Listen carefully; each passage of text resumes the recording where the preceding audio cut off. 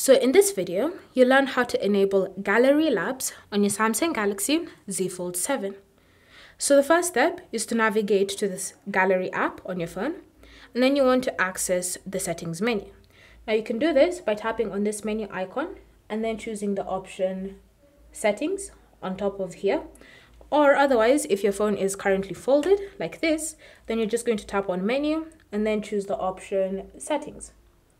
Once you've opened the gallery settings menu, you then want to scroll until you find about gallery, tap on it.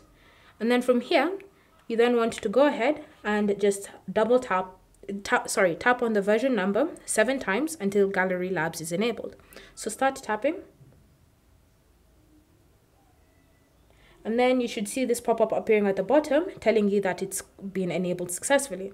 So you just want to go back to the main gallery settings menu and then scroll down at the very bottom, underneath Contact Us, you should see Gallery Labs. So from here, you can now find any experimental features that you want to use to customize the Gallery app on your Z Fold 7. Thanks for watching. If you have any questions or comments, leave them down below and we'll get back to you.